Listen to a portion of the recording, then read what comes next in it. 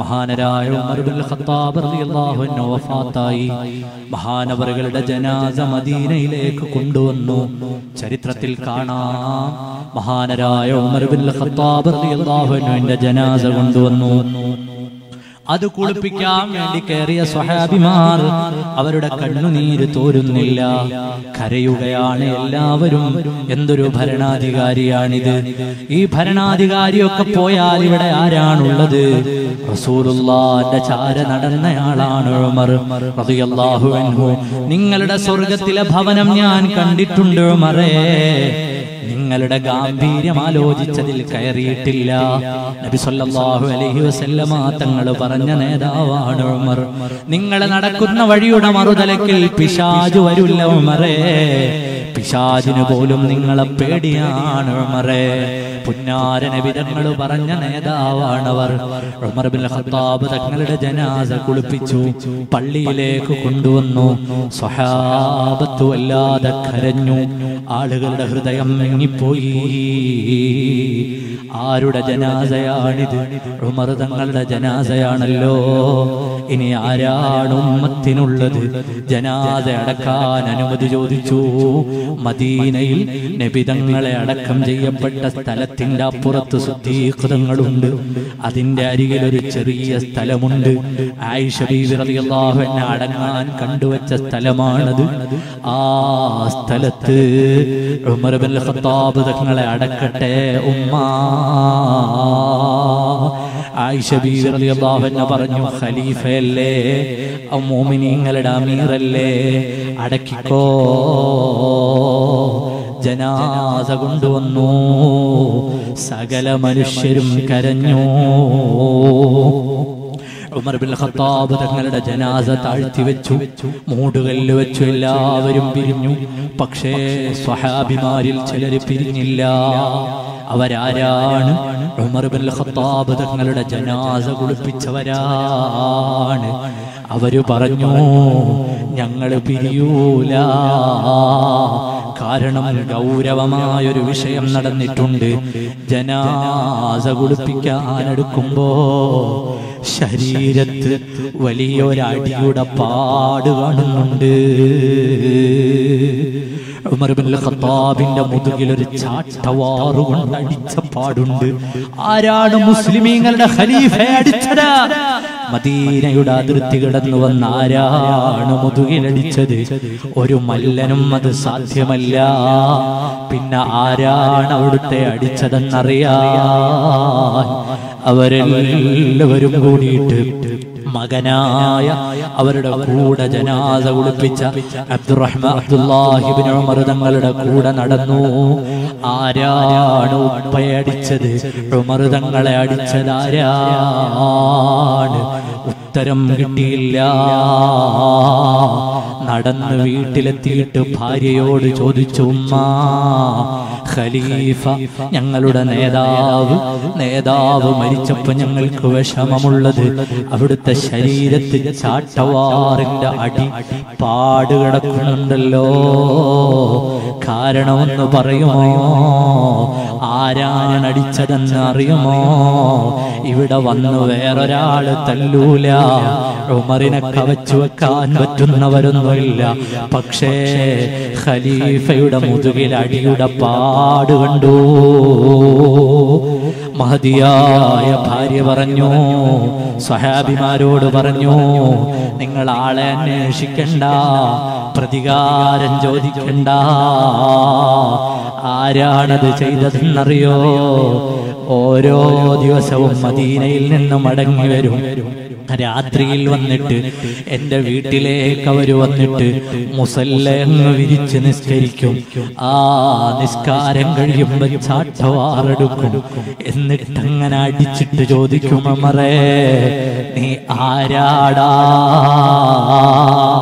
നീ ആരാണ് അമറേ? നീ വലിയ ഭരണാധികാരിയാണോ? നിന്നെക്കാൾ വലിയ റബ്ബുണ്ട് ഉമറേ നീ വലിയ ജഡ്ജിയാണോ? നിന്നെക്കാൾ വലിയ റബ്ബുണ്ട് മറേ അവൻ ഹാക്കിമാട് മറേ നീ വലിയ ആളാണോ? നിന്നെക്കാൾ വലിയ ആളുണ്ട് മറേ നീ ഇങ്ങനെ ജനങ്ങളുടെ മുന്നിൽ ഇങ്ങനെ നടന്നോ? ചാട്ടവാറുകൊണ്ട് സ്വന്തം ശരീരത്തടിച്ചു ഓർമ്മിപ്പിക്കുകയാണ്.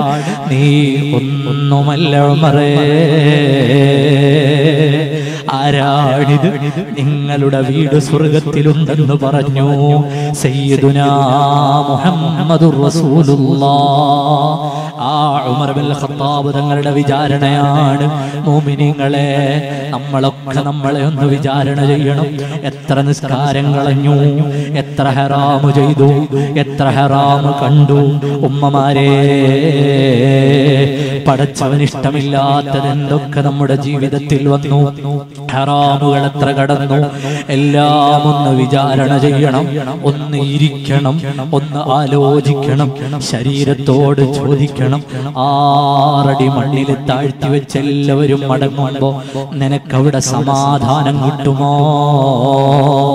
അങ്ങനെ ചോദിച്ചു ചോദിച്ചു ചോദിച്ചു നമ്മുടെ ശരീരത്തെ നമ്മൾ പരുവപ്പെടുത്തണം.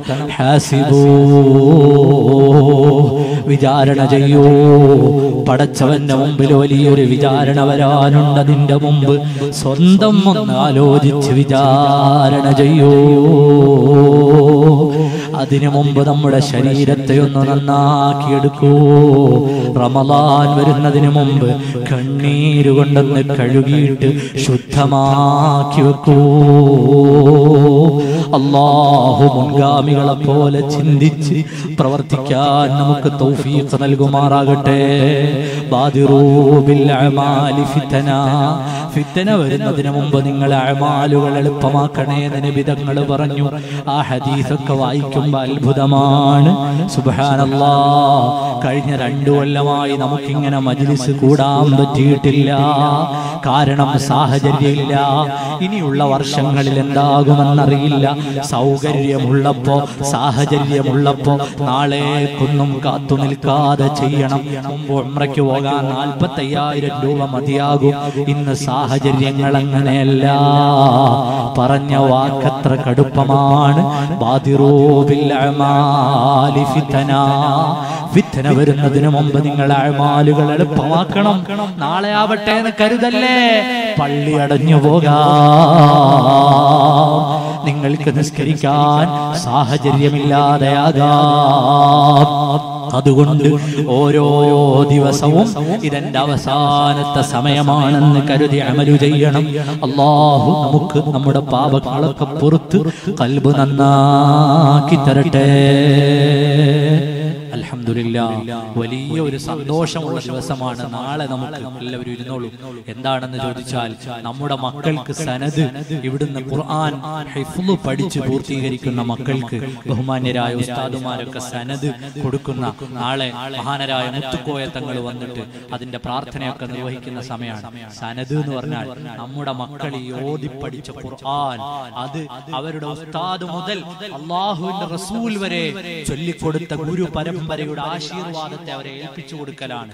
ഒരർത്ഥത്തിൽ സനദ് എന്ന് പറഞ്ഞാൽ അവർക്ക് അള്ളാഹുവിന്റെ റസൂൽ വരെയുള്ള പരമ്പരയെ കൊടുക്കലാണ്. എത്ര ചെറിയ ചടങ്ങാണെന്ന് നിങ്ങൾ വിചാരിക്കരുത്.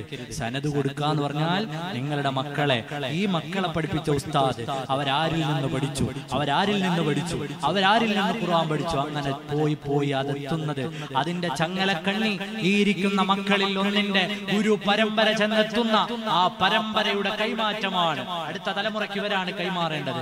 ഏതുവരെ? സയ്യിദുന മുഹമ്മദ് അതിന് നേതൃത്വം നൽകാൻ ഹബീബായ പേരക്കുട്ടി തന്നെ വരും. വലിയ അസറുള്ളയാളാണ് മഹാനരായ മുത്തുക്കോയത്തങ്ങൾ ഭീമാപ്പള്ളിയിലെ ചീഫ് ഇമാം. വലിയ ഇജാബത്തുള്ള ഇജാബത്തുള്ളയാളാണ്. ഒരുപാട് അനുഭവങ്ങൾ. അനുഭവസ്ഥർ പലരും പറഞ്ഞിട്ടറിയാം. തങ്ങളുടെ ദുഴ കൊണ്ട് മാറിയ ഒരുപാട് രോഗങ്ങളുണ്ട്. നമ്മുടെ തിരുവനന്തപുരം ജില്ലയിലെ വെമ്പായത്ത് ദീനിന്റെ ഹിതുമത്തുമായി ജീവിച്ചവരാണ്. ഇപ്പോഴും ഇപ്പോഴും ചീഫ് ഇമാമായിരിക്കുമ്പോഴും മറ്റു ഹിദമത്തുകൾ ചെയ്യുന്നവരാണ്. വലിയ ഇജാബത്തുള്ള പണ്ഡിതനാണ്. ആലിമാണ്. അവർക്ക് ആഫിയത്തുള്ള ദീർഘായുസ് നൽകുമാറാകട്ടെ. നിങ്ങളൊക്കെ നാളെ ആ സദസ് വന്ന് നന്നാക്കി മനോഹരമാക്കി കൊടുക്കണം. ഈ മക്കൾ സന്തോഷത്തോടെ അത് സ്വീകരിക്കുമ്പോൾ എന്റെ പള്ളിയിൽ നിന്ന് ഇത് പഠിച്ചിട്ട് നബിതങ്ങളിലേക്ക് എത്തുന്ന പരമ്പര സ്വീകരിക്കുന്ന മകൻ. അലഹമില്ല അതിന് ഞാനും ഒരു കാരണമാവുമല്ലോ. സനത് കൊടുക്കുമ്പോ ആ പരമ്പരയിലെ മുഴുവൻ ഗുരുനാഥന്മാരായ ഉസ്താദുമാരുടെ ഉസ്താദുമാരുടെ ഉസ്താദുമാർ അങ്ങനെ വലിയ മഹാന്മാർ അവരൊക്കെ സന്തോഷിക്കുന്ന ഒരു സമൂഹം ഒരു വലിയ മുഹൂർത്തമാണത്. അതിന് നമ്മളൊക്കെ കാരണക്കാരാണെന്ന് പറയുമ്പോൾ ചെറിയ കാര്യമല്ലല്ലോ. മോമിനിയങ്ങളൊക്കെ അത് ശ്രദ്ധിക്കണം. അള്ളാഹു തൗഫീഖ് നൽകുമാറാകട്ടെ. വലിയൊരു കാര്യമാണ് ഹിഫ്ലു കോളേജിന് നിങ്ങൾ ധാരാളം സഹായങ്ങൾ ചെയ്യണം. ആഹ്റത്തിൽ വലിയ ഉപകാരം കിട്ടാനുള്ളതാണ്. അലഹമില്ല നമ്മുടെ ഒരു മദ്രസ വഞ്ചിയൂർ ഭാഗത്ത് അതിന്റെ ഫ്രെയിം വർക്കുകളൊക്കെ കഴിഞ്ഞു നിൽക്കുകയാണ്. മദ്രസ കം ഹാൾ ഒരു മൾട്ടി പർപ്പസ് ഉപയോഗിക്കാവുന്ന രീതിയിൽ അതൊന്ന് നന്നാക്കി എടുക്കാൻ വേണ്ടിയിട്ട് നമ്മുടെ മഹല്ല് കമ്മിറ്റി തീരുമാനിച്ചിട്ടുണ്ട്.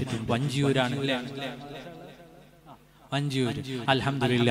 ഇക്കാലത്ത് നമ്മുടെ പള്ളിക്ക് ഒരു സ്ഥിര വരുമാനമാണ് മദ്രസയുമാണ്. മദ്രസ നടന്നാൽ എല്ലാ കാലത്തും നമ്മൾ മരിച്ചു എന്നാൽ എല്ലാ കാലത്തും അവിടുന്ന് ഒരു കുട്ടി ഒരു ഫാത്തിഹ ഓതിയാൽ അതിന്റെ പ്രതിഫലം നമ്മുടെ കബറിലേക്ക് എത്താനുള്ളതാണ്. ഒരു മൂവായിരം സ്ക്വയർ ഫീറ്റ് കട്ട കെട്ടിയിട്ട് അത് നന്നായി സ്ട്രെസ് വർക്കൊക്കെ ചെയ്ത് താഴെയൊക്കെ നന്നാക്കിയെടുത്ത് നമ്മുടെ പള്ളിക്ക് സ്ഥിര വരുമാനമാകുന്ന രീതിയിൽ മൾട്ടി പർപ്പസിന് പറ്റുന്ന ഒരു ഹാളാക്കി അത് മാറ്റിയെടുക്കണം. നിങ്ങളുടെ ഒക്കെ സഹായം വേണം. നിങ്ങളൊക്കെ സഹായിക്കുന്നവരും സഹകരിക്കുന്നവരുമാണ്. അള്ളാഹു തൗഫീഖ് നൽകുമാറാകട്ടെ. അതിലൊരു കുട്ടി ഖുർആൻ ഓതിയാൽ നിങ്ങൾക്ക് അതിന്റെ പ്രതിഫലം കിട്ടും. നിങ്ങളുടെ മാതാപിതാക്കൾക്ക് കിട്ടും. അതിനെ സഹായിക്കുന്ന എല്ലാവർക്കും തൗഫീഖ് നൽകണം റഹ്മാനെ. അള്ളാഹുവേ നീ തൗഫീഖ് നൽകണം റഹ്മാനെ. ഒരുപാട് പേര് ദ്വാരക്കാൻ പറഞ്ഞിട്ടുണ്ട്. അതിലേക്ക് ഒരു അയ്യായിരം രൂപ തരാൻ പറ്റി ആരെങ്കിലും ഈ സദസ്സിലുണ്ടോ ഇന്ന് ദ്വാരക്കുന്നതിന് മുമ്പ് നാളെ നിങ്ങൾ തങ്ങൾ വരുമ്പോൾ നിങ്ങളെല്ലാം കാര്യമായി സംഭാവന ചെയ്യണം. ഇന്ന് ദ്വാരക്കുന്നതിന് മുമ്പ് നമ്മുടെ മദ്രസയ്ക്ക് വേണ്ടിയിട്ട് എന്നെ കണ്ടിട്ട് നിങ്ങൾ ആരും തരണ്ട. നിങ്ങൾ നിങ്ങളുടെ മഹലിലെ ഒരഭിമാനകരമായ സംരംഭം നാളെ ഉയരുമ്പോൾ അതിൽ എന്റെ ഒരു ഭാഗം ഉണ്ടാവണം. നാളെ നമ്മളൊക്കെ ഉണ്ടാവുമെന്ന് എന്താ ഉറപ്പ്? നമ്മളൊക്കെ മരിച്ചാൽ നമ്മുടെ മക്കൾ നമ്മുടെ സമ്പത്തിൽ നിന്ന് എത്ര ശതമാനം കൊടുക്കും നിങ്ങൾ വിചാരിക്കുന്നു? പള്ളിക്ക് ഒരു പത്ത് ശതമാനം. എന്റെ വാപ്പ മരിച്ചു. പത്ത് ശതമാനം. പള്ളിക്ക് കൊടുത്ത് ദ്വാരപ്പിച്ച ഏതെങ്കിലും മക്കളുണ്ടോ? നമ്മുടെ കയ്യിൽ നിന്ന് സമ്പത്ത് മാറിയാൽ അത് മറ്റൊരാളിന്റെതാണ്. നമ്മൾ മരിച്ചാൽ അത് നമ്മുടെ മക്കളുടെ സമ്പത്താണ്. പിന്നെ അവിടെ ചാൻസ് ഇല്ല. കൊടുക്കണോ? മുഹമ്മദ് കൊടുത്തോ അവസരം എപ്പോഴും വരില്ല. മദ്രസ എന്നും കെട്ടില്ല. മദ്രസ കെട്ടുന്ന സമയത്ത് കൊടുക്കാൻ പറ്റുമ്പോ കൊടുക്കണം. അള്ളാഹു തൗഫീഖ് നൽകട്ടെ അല്ലാഹ് നല്ല ഈമാൻ ഉറച്ച് ഒരു അയ്യായിരം രൂപ പറയാൻ പറ്റിയ ആരുള്ളത് അൽഹംദുലില്ലാ തീർക്കാം അള്ളാഹു സുബ്ഹാനഹു വ തആല എല്ലാവിധ റഹ്മത്തും റാഹത്തും സന്തോഷവും നൽകി അനുഗ്രഹിക്കുമാറാകട്ടെ സ്വലാത്ത് സല്ലല്ലാഹു അലാ മുഹമ്മദ് സല്ലല്ലാഹു അലൈഹി വസല്ലം സല്ലല്ലാഹു അലാ മുഹമ്മദ് സല്ലല്ലാഹു അലൈഹി വസല്ലം